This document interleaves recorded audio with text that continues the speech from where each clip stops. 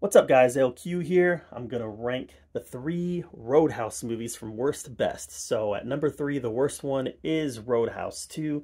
This movie was a direct-to-video sequel to the original and it was terrible. Bad acting, bad idea. Just everything about this movie was bad.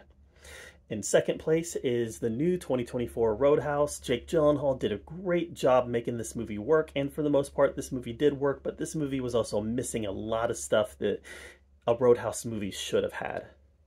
Of course, though, the best one is the Patrick Swayze original. Just a lot of fun, blended campiness and macho testosterone-ness very well, and it's still one that I like to revisit from time to time. So that is how I would rank the three Roadhouse movies. How would you rank them? Let me know in the comments below.